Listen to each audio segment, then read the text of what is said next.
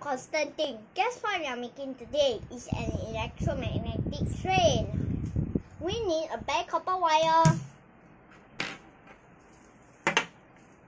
neodymium magnets, a trooper, a brand new triple A battery, and here is how it's set up. The, the, the magnets needs to be needs to be repelling, so I put them on either side on my for my battery and then I put it inside the tunnel with the copper wire. You see?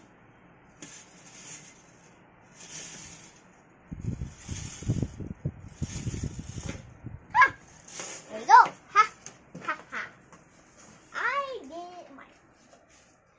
And when electric goes through a wire, you're making an magnetic field. So,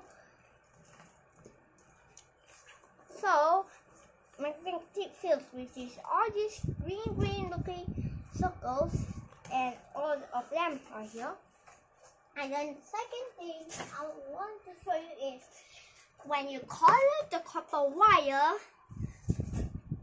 the magnetic fields becomes bigger and stronger, which is all these magnetic fields become. And the second thing is how does the battery goes in the coils. Remember, we was talking about that scene. The first scene, we are talking about the magnets need to be repelling. So one end is repelling and then on the other hand is attracting. So it keeps moving forward.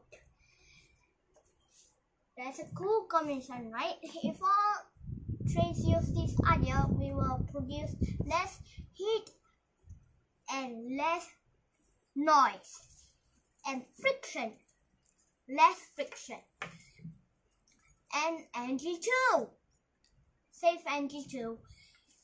And thank you for watching my video. Goodbye.